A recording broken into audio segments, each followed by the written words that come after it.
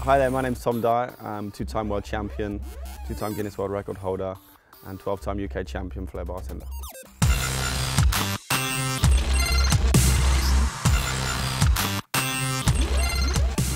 We're here up in Manchester and I'm going to be making a mojito using flair bartending. Now to do this we're using 360 bullet time where there's 32 cameras surrounding me and they all taking a picture at the same time so you get a 360 degree view of the moves that I'm performing. Now what's flair may you ask? It's a style of bartending which involves manipulating the objects, maybe even the liquid, to make it a little bit more entertaining to the customer when you're making a cocktail. I got into flair bartending about 15 years ago when uh, I started working behind a bar and somebody showed me a couple of different flair moves.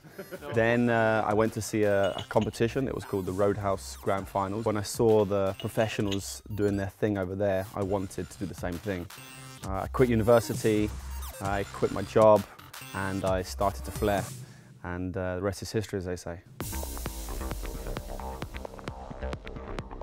So this shoot came about when I got a phone call many months ago asking if I wanted to be involved with Jamie Oliver's Drinks Tube. Did a screen test, then a few months after that got another phone call, asked to come back and we came up with some ideas and I was told that there was going to be this 360 degree bullet cam, uh, super slow-mo camera and I thought it's the best way to showcase flair so that the people who love flair get to see it in its best possible light and those of you who don't really understand what's going on get to see all different angles of, of how flair works. Okay, so to see me making a mojito with flair bartending and a 360 degree bullet time, just click right here.